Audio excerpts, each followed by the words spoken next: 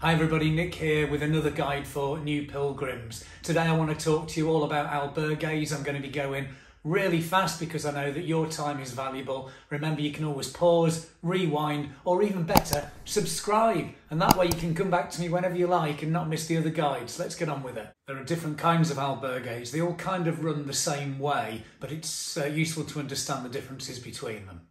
There's the public or municipal albergue. These are the ones that are run by the local authority. Uh, they're generally the cheapest. They can sometimes be the most basic, but not in every case. Sometimes there there can be a nice surprise. Uh, as of 2022, the price would be around six to ten euros. We have the parochial, if I'm pronouncing that right, um, Donativo albergues.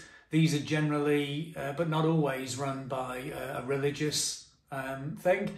Uh, they can include a, a, service as part of it, but the main point is that they're donation based. You give what you can afford.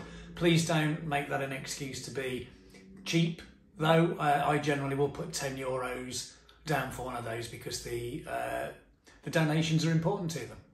And there's the Pilgrim Association albergues. There's quite a few groups normally of ex-pilgrims uh, who have set something up um, it's generally ex-pilgrims working there on a volunteer basis. Um, they can be a charge for the night, but they can also be um, donations too. Uh, all very useful, and you can get some great advice there as a new pilgrim because a lot of the people working there have been there, done that, and got the sandal. Or is it t-shirt? Then you get the private albergues. There can be a whole range on these. They range from maybe 8 euros to 24 euros uh, for the night, uh, the price doesn't necessarily say how good it's going to be. Um, and they vary from creepy, uh, creepy, strange hotel to uh, swanky Japanese hotel with the little cubicle beds and all that sort of thing. So, all kinds of different things available. Moving up in the world, you have fondas and pensions. These are private rooms available normally by bars or restaurants or sometimes in a private house. Uh, you don't necessarily get your own bathroom en suite, uh, but it's a bit of privacy where you possibly don't need the earplugs uh, for snoring. Lastly, there are the three kinds of hotels in Spain. You've got the hostels, privately run, cheaper hotels. Then you've got hotels, generally a big chain.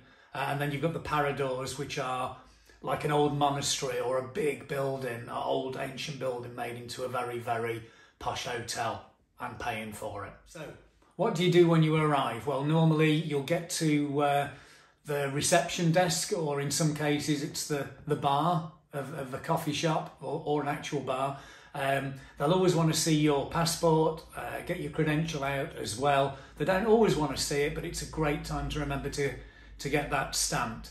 Um, they'll normally show you to where it is. You'll either be assigned a bed or sometimes, depending on how early you got there, you get to choose a bed. I, always go for bottom bunk, but that's just my choice.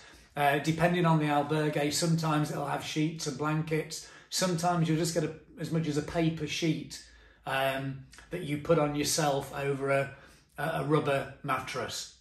So I normally make my bed and then decide where I'm putting putting my stuff really. Um, some albergues will have lockers for you to put things into. Um, do you know what? I've never ever had any problem with anybody stealing anything from an albergue. Um, certainly not in the first 700k. Uh, a lot of different people arrive in the last 100k.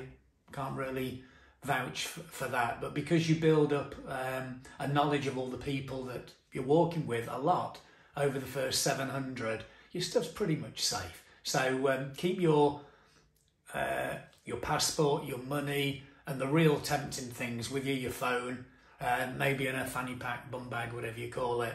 Uh, everything else is generally safe. Then you can think about uh, washing your clothes or washing yourself. If you're quite early there, um, there's a very good chance that there's hot water and people haven't used it all. In some places, it never runs out of hot water, but uh, it's one to watch out for. I've had a few nights where it's either been a cold shower or nothing. Uh, for laundry, uh, there's a choice. You can do it in the sink. Um, sometimes I would just wear my clothes in the shower and start having a shower with the clothes on, soaping them as normal, and then get undressed in the shower and, and continue. Um, or in many cases, there are washing machines and dryers that you can use. Um, they're about four euros, I think, for a wash and maybe two to use the dryer. If you're not using the dryer, there's generally a washing line. I took three small pegs with me. Uh, the real ultralighters like to just take three safety pins, but um, just train a bit harder and you can easily carry three lightweight uh, plastic pegs, I'm sure. Let's talk about the do's and don'ts uh, in an albergue.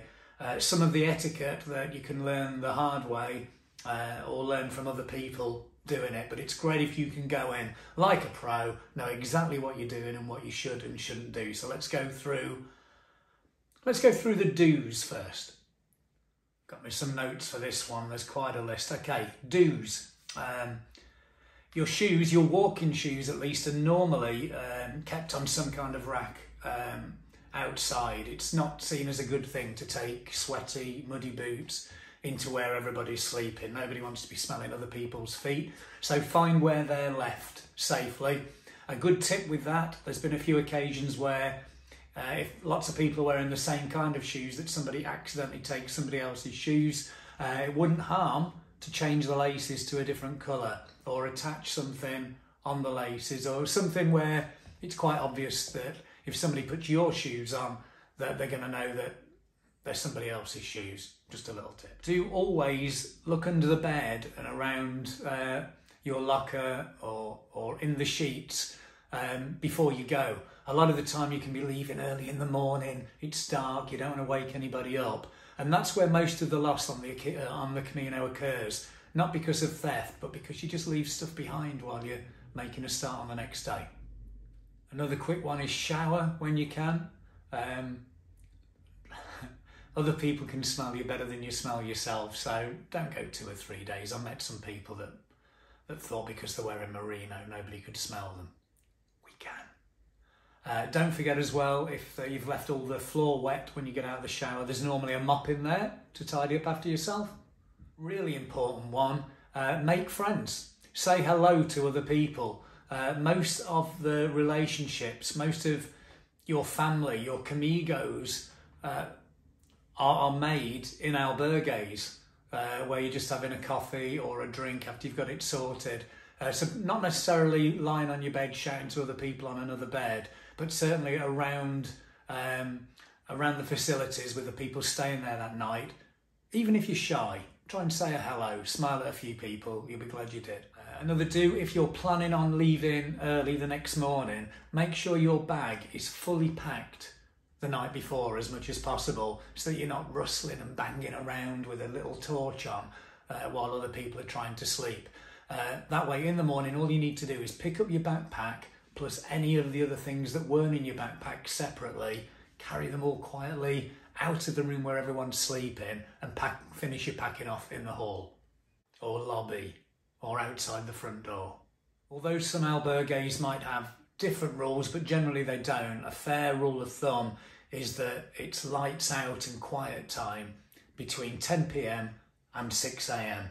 You will get some uh, pilgrims who are just tired and try and turn the lights out at 8.30. That happened to me. Uh, we just politely said they're going back on because we're all not tired yet.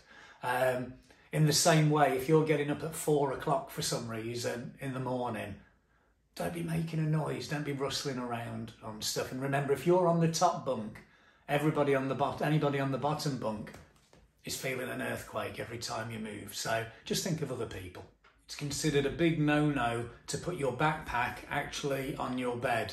Uh, don't forget you take the backpack off during the walk uh, through the day and you're putting it on ground where animals have been over and stuff like that, where little insects or things that live on animals could get onto your backpack then onto the bed, and then somebody a few days later has got those insects on them. So backpack off the bed.